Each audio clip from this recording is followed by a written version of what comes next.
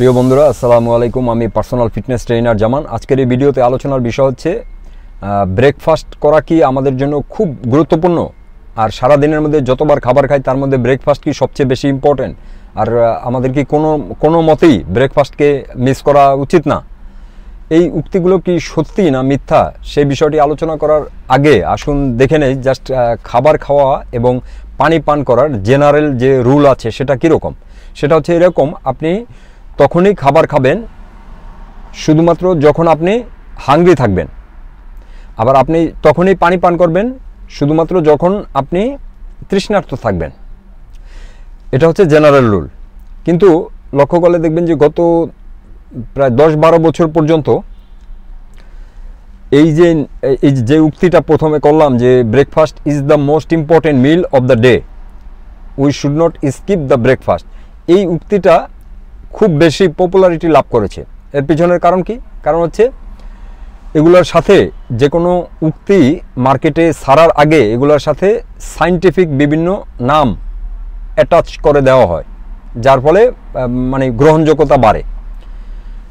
হ্যাঁ যেমন এইভাবে বলবে যে সায়েন্স নতুন একটা স্টাডির মাধ্যমে সায়েন্স এই এই মর্মেও মর্মে সিদ্ধান্ত লাভ করেছে যে ব্রেকফাস্ট সবচেয়ে গুরুত্বপূর্ণ মিল অথবা ব্রেকফাস্ট না করলে আপনার সমস্যা হতে পারে। এই এভাবে সায়েন্সকে অ্যাড করার মাধ্যমে আমাদেরকে প্রভাবিত করা হয়। আমাদের ব্রেন ওয়াশ করতে সায়েন্স এই শব্দটা অনেক সাহায্য করে থাকে। এখন সায়েন্স যেই চলমান যে সায়েন্স সেই সায়েন্সের আপনার, এটাকে বলা হয় নিউটনিয়ান সায়েন্স অথবা নিউটনিয়ান ফিজিক্স এই সায়েন্সের গোড়াতেই আপনার সমস্যা, ভুল। মানে এই সায়েন্সের স্টার্টিং হয়েছে ভুল তথ্য থেকে। যেখানে এই সায়েন্স বলে থাকে যে এই সায়েন্সকে বলা হয়ে থাকে যে রিডাস রিডাকশনিস্ট সায়েন্স অথবা আইসোলেশন করতে পছন্দ করে। এই সায়েন্স সব কিছুকে আইসোলেশ আইসোলেশন করে এক্সামাইন করতে পছন্দ করে। এবং সেটা একটা বিষয়, কিন্তু নতুন যেই ফিজিক্স এসেছে, যেটাকে বলা হয় কোয়ান্টাম ফিজিক্স সেটা সম্পূর্ণ বিপরীত। ওই যে চলমান সায়েন্সের বিপরীত ওকে সেই গেল একটা পয়েন্ট আরেকটা পয়েন্ট যে পুরনো যে চলমান যে সায়েন্স যে নিউটনিয়ান ফিজিক্স সেই সায়েন্সের মধ্যে আবার দুই ধরনের সায়েন্স আছে অক- অথবা দুই ধরনের স্টাডি করে থাকে ওই সায়েন্স একটা হচ্ছে সত্যিকারের স্টাডি যেটা অ্যাকচুয়ালি তারা কোনো আপনার মিথ্যা, জড়ানো ছাড়া সত্যিকারের স্টাডি করেছে ওকে আরেকটা আছে আপনার ম্যানিপুলেটেড স্টাডি যেখানে আপনার বিভিন্ন বেনিফিশিয়ারি পারসন তারা আপনার ফান্ডিং করে, টাকা দিয়ে থাকে। এই স্টাডিটা করার জন্য তাদের পক্ষে যাতে স্টাডির রেজাল্ট আসে, সেজন্য তারা টাকা দিয়ে থাকে অথবা কেউ কেউ যাদের ক্ষমতা আছে তারা ক্ষমতা প্রয়োগ করে থাকে। আলটিমেটলি তারা চায় যে রেজাল্টটা তাদের পক্ষে যাক। তো দ্যাট মিনস এটা হচ্ছে ফলস ফলস স্টাডি তো এই যে আমাদের ব্রেকফাস্টকে স্কিপ করা উচিত না ব্রেকফাস্ট ইম্পর্টেন্ট মিল এটা ওই ফলস সায়েন্সের মাধ্যমে আমাদের, আমাদেরকে ব্রেন ওয়াশ করা হয়েছে। এখন ব্রেকফাস্ট যদি এত ইম্পর্টেন্ট মিল হয়ে থাকতো, তাহলে আমরা কি জাস্ট এই গত দশ বারো বছর বা পঞ্চাশ ষাট বছর ধরে আমরা কি পৃথিবীতে বিচরণ করছি? আমরা তো হাজার হাজার বছর থেকে পৃথিবীতে আছি। ওকে তাহলে তাদের তো বেঁচে থাকার কথা ছিল না। যারা আদিম যুগের মানুষ অ্যানসেস্টর তাদের তো বেঁচে থাকার কথা ছিল না, কারণ তারা সকালের মিল তো দূরের কথা। এমন সময় গেছে যে সারা দিনে এক, দুই, তিন দিন ধরে কোনো খাবার তারা পায়নি। তাহলে তারা তো বেঁচে থাকার কথা ছিল না। আর এটা একবার, দুইবার জন্য না, সারা জীবনই তাদেরকে এইভাবে হ্যাঁ খাবার এবং ফাস্টিং খাবার এবং ফাস্টিং এভাবেই তাদের জীবন চলেছে। এবং আপনি আপনি এত হ্যাঁ এত সাফিস্টিকেটেড সায়েন্স নিয়ে এসে রিসার্চ করার মাধ্যমে এত ইনফরমেশন দেওয়ার পরেও আপনার এত রোগ, এত ভোগান্তি মানুষের মধ্যে। কিন্তু আগের যুগে বা অ্যানসেস্টর পূর্ব, পূর্বপুরুষ যারা ছিল, তারা কিন্তু আমাদের থেকে কয়েক গুণ বেশি স্বাস্থ্যকে উপভোগ করেছে। তারা অনেক হ্যাপি ছিল, অনেক স্বাস্থ্যবান ছিল। তো এই জন্য এই কথাটা আমাদের অ্যাকসেপ্ট করা উচিত না। তো রিজন হচ্ছে কি, যে রিজনগুলো আমি উপস্থাপন করার চেষ্টা করব। সেটা হচ্ছে যে যে আপনি কি করতে পারেন? এখন আমি তো এভাবে বললাম। আবার আবার মোবাইল খুললে আপনি সোশ্যাল মিডিয়াতে প্লাস অন্যান্য নিউজ নিউজের মাধ্যমে আপনি হয়তো বা জানবেন যে ব্রেকফাস্ট খুব ইম্পর্টেন্ট মিল এটাকে স্কিপ করা উচিত না, যায় না, এভাবে। তখন আপনি একটা কনফিউশনের মধ্যে পড়ে যাবেন। তাহলে আপনি কীভাবে এই কনফিউশনটাকে দূর করে সিদ্ধান্ত নিতে পারেন? সেটা এভাবে হতে পারে যে আপনি কি করবেন? এটার মধ্যে তো কোনো সন্দেহ নাই যে আমাদের চেয়ে আমাদের অ্যানসেস্টর বা পূর্বপুরুষ তারা অনেক হেলদি ছিল। তাদের এত স্বাস্থ্যের কমপ্লিকেশন ছিল না, এত ভোগান্তি ছিল না, এত ক্রনিক রোগ ছিল না। তাহলে নির্দ্বিধায় বেস্ট অ্যাপ্রোচ হবে জাস্ট তাদেরকে ফলো করা।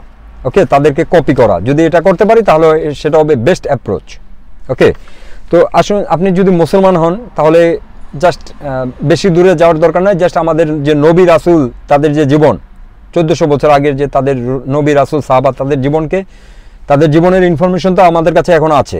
এই হাদিস হাদিস কিতাবের মাধ্যমে আমরা তাদের পুঙ্খানুপুঙ্খ ইনফরমেশন আমাদের কাছে আছে। তাহলে জাস্ট তাদেরকে আপনি অ্যানালাইজ করার চেষ্টা করেন।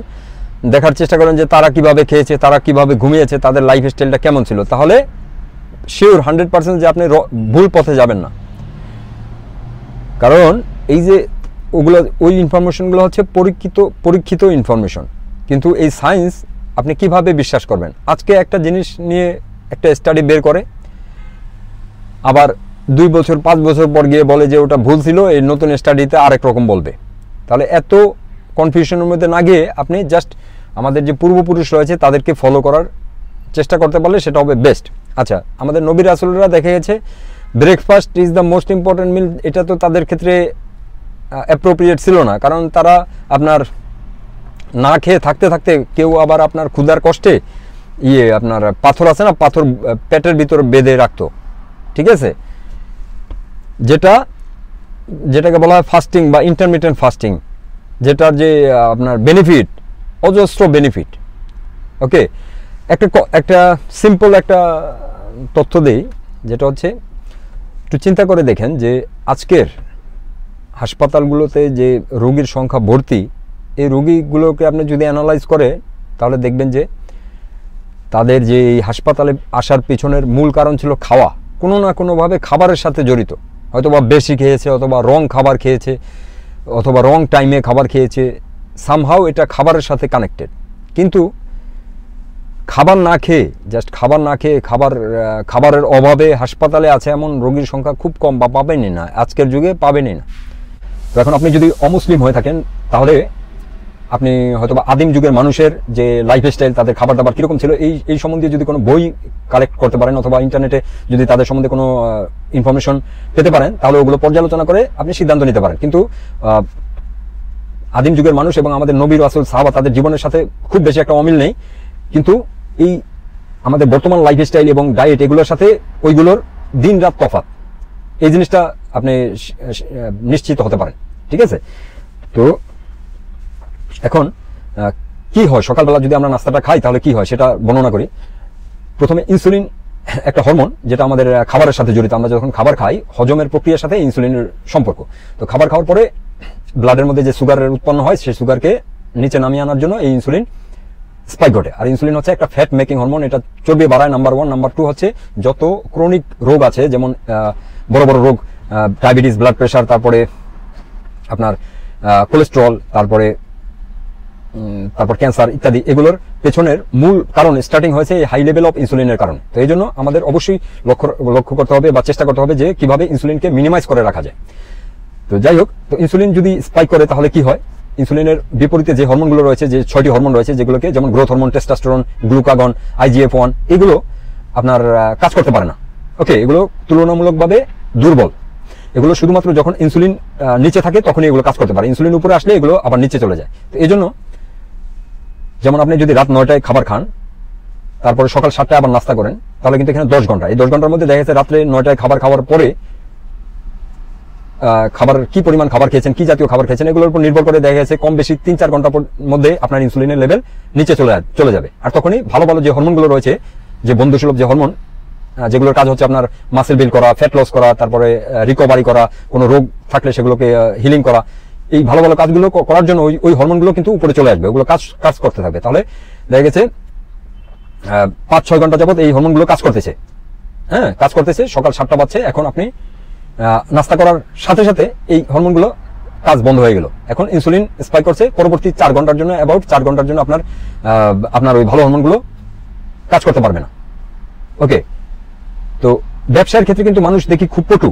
তারা মানে লাভটাকে যত বেশি প্রলং করা যায়, যত বর্ধিত করা যায়, সেক্ষেত্রে কিন্তু তারা সক্রিয়। কিন্তু এই খাবার দাবার বা স্বাস্থ্যের ক্ষেত্রে কিন্তু তারা এত কেয়ার করে না। এই জিনিসটা একটা অদ্ভুত জিনিস। তো যাই হোক, এখন সকালে দেখা যাচ্ছে যদি আপনি নাস্তা করেন। তাহলে তো একে তো এই জিনিসটা করলেন মানে এই ভালো কাজগুলো বন্ধ করলেন। দ্বিতীয় হচ্ছে যে যে সাধারণত আমরা কি ধরনের নাস্তা করে থাকি সকালে? হ্যাঁ বেশিরভাগ কার্বোহাইড্রেট বা সুগার জাতীয় খাবার এগুলো দিয়ে নাস্তা করে থাকি। তো এগুলো কি করে ব্লাড সুগারকে স্পাইক ঘটায়? আবার ইনসুলিনের স্পাইক ঘটে ওই ব্লাড সুগারকে নর্মালের থেকে আবার নিচে নিচে নামিয়ে, নিয়ে আসে। যার ফলশ্রুতিতে আপনার তিন থেকে চার ঘণ্টা লাস্টিং লাস্টিং করবে আপনার এনার্জি তারপরে আবার আপনার ক্ষুধা লাগবে। ক্ষুধা লাগার পরে আপনি আবার সকাল দশটা এগারোটার দিকে আপনার আবার অন্য কিছু খেতে হবে। হালকা হলেও কিছু খেতে হবে। তো আবার খাওয়ার ফলে আপনি আবার ইনসুলিনের স্পাইক ঘটালেন, সেক্ষেত্রে আবার তিন চার ঘণ্টা পর্যন্ত আপনার ভালো কাজ বন্ধ। তারপর আবার দুপুরে লাঞ্চের টাইম চলে আসবে, তখন লাঞ্চ করার পরে আবার ইনসুলিনের স্পাইক আবার আপনার বিকালে আবার একটা নাস্তা করতে হবে। সেক্ষেত্রে আবার রাত্রে আপনি খাবার ফলে দেখা গেছে দিনের চব্বিশ ঘণ্টার মধ্যে আপনার আঠারো ঘণ্টার মতো আপনার শরীরে সবসময় ইনসুলিনের বিরাজ করছে। এবং মাত্র ছয় ঘণ্টা ভালো হরমোনগুলো কাজ করার সুবিধা পাচ্ছে। কিন্তু আপনি যদি ব্যবসায়িক মনোভাব এই ক্ষেত্রে অ্যাপ্লাই করেন তাহলে আপনি কি করবেন? আপনি আঠারো ঘণ্টা কাজ করাতে চাইবেন। আঠারো ঘণ্টা বা ষোলো ঘণ্টা ভালো কাজ করাতে চাইবেন। আর বাকি ছয় থেকে আট ঘণ্টা আপনি ইনসুলিনের ইনসুলিনের স্পাইক ঘটাতে দিবেন। এটা হবে ব্যবসায়িক যদি আপনি দৃষ্টিভঙ্গি এখানে অ্যাপ্লাই করেন তাহলে এটা হবে এরকম। তো যাই হোক এই জন্য কি করতে হবে? আপনি যেহেতু অনেক দিনের অভ্যাস এটা অভ্যাসে পরিণত হয়েছে যে কোনো ভাবেই আহ, দেখা গেছে আপনি অনেকে ন্যাচারালি সকালবেলা ক্ষুদা লাগে না, কিন্তু জাস্ট এই যে বিশ- এই যে মিথ্যা তথ্য বিভিন্ন মিডিয়ার মাধ্যমে আমাদের কাছে আস্তে আস্তে আস্তে আস্তে রেপিটেশনের মাধ্যমে এটা আমাদের বিশ্বাসে রূপান্তরিত হয়েছে। তো অনেকের সকালে আপনার ক্ষুদা লাগতো না, কিন্তু জাস্ট তারা এই যে এই যে বিশ্বাসটা, এই যে ব্রেন ওয়াশের কারণে তারা এখন খেতে খেতে খেতে খেতে এখন অভ্যাস হয়ে গেছে। তো যেহেতু অভ্যাস হয়েছে, সেহেতু অভ্যাস পরিবর্তনের জন্য আবার একটু কষ্ট করতে হবে। তো কষ্টটা হচ্ছে কি এই যে সহ্য করতে হবে। আর এই মানে এই যে মানে নাস্তাটাকে আপনার দূরে সরিয়ে দেওয়া, দেওয়ার যে চেষ্টা, সেটা করতে গিয়ে আপনার একটু কষ্ট সহ্য করতে হবে। প্রথম প্রথম দিকে, তারপরে আবার এটা ঠিক হয়ে যাবে নর্মাল হয়ে যাবে। কিন্তু আপনি এটাকে কীভাবে আরও সহজতর করতে পারেন সেটা হচ্ছে এরকম যে রাত, রাত- রাতের খাবারের সাথে আপনি যদি একটু বেশি হেলদি ফ্যাট যোগ করে দেন, তাহলে আপনার সকালের ক্ষুধা লাগবে না।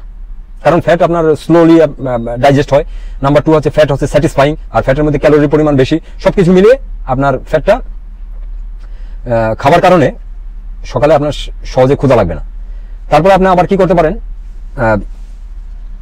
তারপরে আপনি ইয়ে করে, সকালে উঠে জাস্ট যে সময় নাস্তাটা করতেন, ওই সময় আপনি ব্ল্যাক কফি অথবা গ্রিন টি অথবা গ্রিন অথবা black tea black tea black coffee coffee green tea এগুলো যে কোনো একটা, আপনি চিনি এবং দুধ ছাড়া অবশ্যই এগুলো পান করলেন। এগুলো পান করার ফলে কি হবে? অ্যাবাউট মানে দুই তিন ঘণ্টা সময় এগুলো আপনাকে দেবে। ক্ষুধা লাগবে না। ট্রাই করে দেখবেন। অথবা আপেল সাইডার ভিনেগার আপনি পানিতে মিশিয়ে সেটাও পান করতে পারেন, যেটা আপনার আপনার জন্য ভালো হয়। এগুলো করার মাধ্যমে ক্রমান্বয়ে আপনার যে অভ্যাসটা, সেগুলো আবার রিপ্লেস হয়ে যাবে নতুন অভ্যাসের সাথে। তো সবকিছু শেষ, শেষে যে জিনিসটা বলতে চাই, যেটা হচ্ছে, এটা একটা চরম মিথ্যা যে breakfast is the most important meal কোনো মিলই মোস্ট ইম্পর্টেন্ট না। এখানে রুল আছে, আমাদের ইন্টুয়েশন আছে, আমাদের পারসেপশন আছে, এগুলোর মাধ্যমে আমরা ডিসাইড করব। যখন আমরা আমাদের শরীর খাবার প্রয়োজন পড়বে, তখন এটা আমাদেরকে সিগন্যাল পাঠাবে, আমরা ক্ষুধা অনুভব করব, তখন আমরা খাবার খাব। এটা এই ক্ষুধাটা যদি দুপুর বারোটায় লাগে, সেটা তখন খাব। রাত তিনটা লাগ মানে রাত নয়টা লাগলে তখন খাব। যে কোনো সময় লাগলে খাব। কিন্তু এমন না যে স্পেসিফিক কোনো আমার শরীরের সাথে মানে ইনটিউন না করে আমি জাস্ট কোনো একটা নাম্বারকে সিলেক্ট করে নিব যে এটাই বেস্ট এমন না ওকে আমরা আমরা ইন্ডিভিজুয়ালি আমাদের শরীর, একজনের থেকে আরেকজনের শরীর কিছুটা ডিফারেন্ট তো এগুলোর ভে- ভেদে এই টাইম এবং কি পরিমাণ খাবার খাব, কি আশা বিষয় এগুলো, এগুলোর ভিন্নতা রয়েছে। তো এই ভিন্নতাগুলো রেসপেক্ট করে আমরা কি করব? জাস্ট অ্যাকচুয়াল প্রকৃত ক্ষুধার অপেক্ষায় থাকব। যখন প্রকৃত ক্ষুধা লাগবে, তখন আমরা খাবার খাব। ঠিক আছে? আর অবশ্যই তো খাবারটা আপনার পুষ্টিকর হতে হবে, সেটার দিকে লক্ষ্য রাখতে হবে। কারণ অপুষ্টিকর খাবার খেলে আপনার বারবার ক্ষুধা লাগবে, সেটা আপনি সেটা সত্যিকারের ক্ষুধা লাগবে, বারবার। ঠিক আছে? সেটা কিন্তু আপনার, সেই ক্ষুধাকে আপনি ওইভাবে চিন্তা করলে হবে না যে আমার ক্ষুধা তো লেগেছে। কিন্তু ক্ষুধা লাগার পিছনে যে আপনার রং চয়েস আপনার ভুল চয়েস ছিল, ভুল ধরনের খাবার খেয়েছেন, সেটা কিন্তু দায়ী। বা আপনি দায়ী। এজন্য মেক শিওর করবেন যে আপনার খাবারের পুষ্টির গুণা, পুষ্টির মানে পুষ্টির মান খুব ভালো। তখন এগুলো মেনটেন করার পরে যদি আপনার ক্ষুদা লাগে, সেই ক্ষেত্রে সেটা হচ্ছে সত্যিকারের ক্ষুধা, সেই ক্ষুধাটার জন্য আপনি খান। তো এইভাবে চিন্তা করে খাবার খেলে ইনশাল্লাহ স্বাস্থ্যবান থাকতে পারবেন। ভিডিওটি দেখার জন্য ধন্যবাদ। ভালো থাকবেন খোলা হাফেজ।